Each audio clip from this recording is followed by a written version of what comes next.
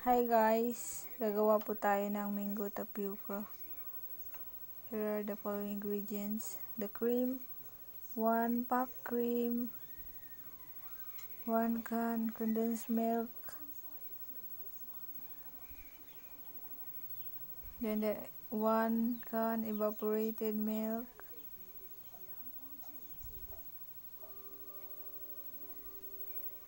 then mango,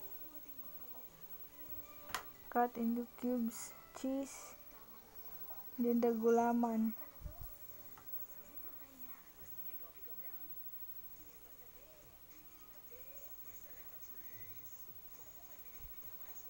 Then 1 4 kilo na white sugar.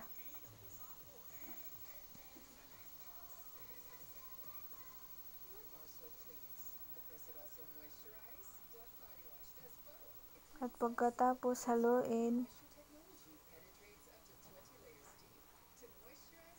dagdagan nyo lang kung kulang sa tamis guys. Sa akin, sakto lang yun.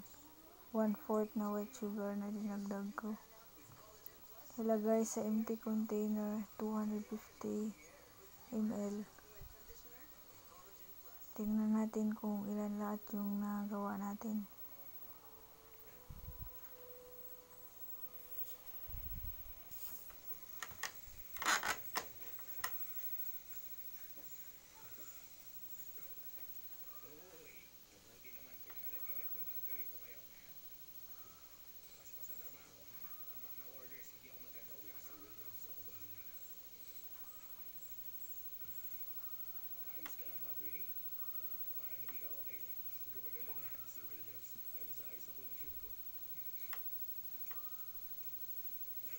And that's it. Ito na po guys.